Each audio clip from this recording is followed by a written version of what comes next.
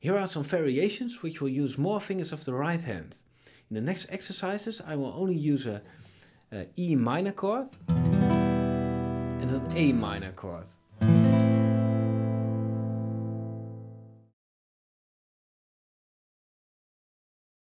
In this first variation I first play a note with a thumb. After that I use my middle finger to play the high E, continuing with the index finger on the high E. So it goes like this.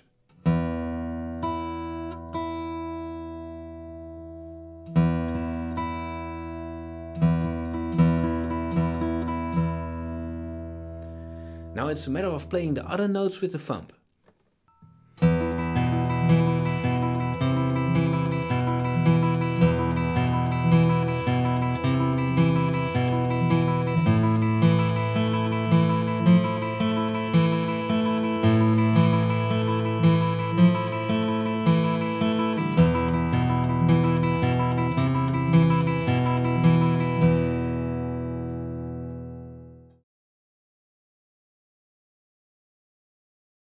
Another variation is to play the thumb and the middle finger at the same time.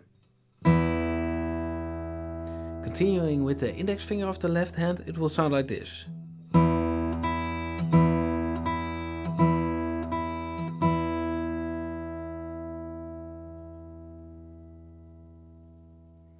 Here's an example with the E minor and the A minor chords.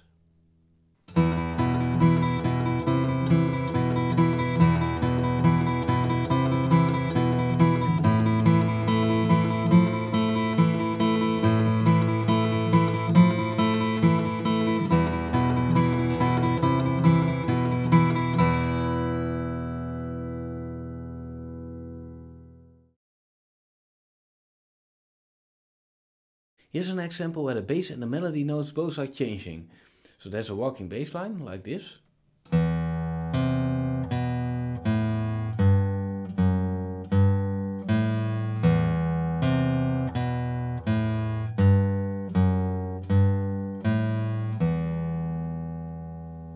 And the melody played with the middle and index finger will go like this.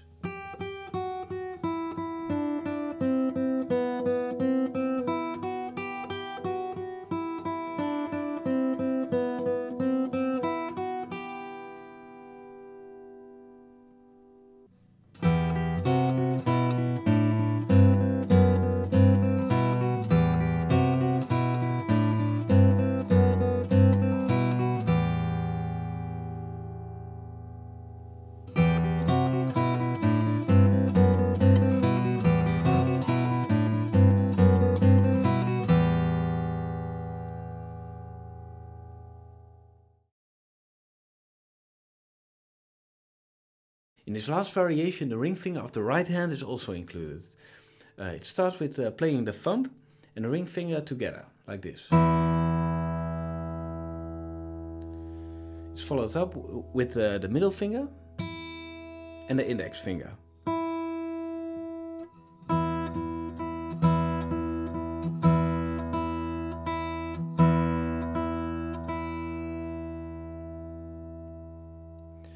With the E minor and the A minor example, it sounds like this.